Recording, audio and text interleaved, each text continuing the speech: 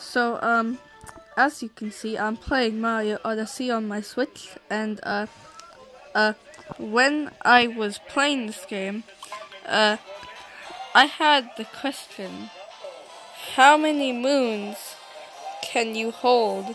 Cause like up in this spot, you'd have all your moons, and like I've seen a bunch of speedrunners who've had like a whole bunch of moons up on this bit like this part of the screen.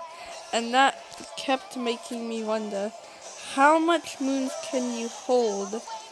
Cause like, I, I don't know, cause like, I could probably see, cause like, I can just buy the moons, because of course I would do that. But uh, yeah.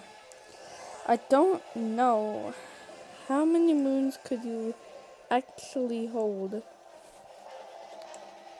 It, it's it's a really big question of mine. So uh yeah.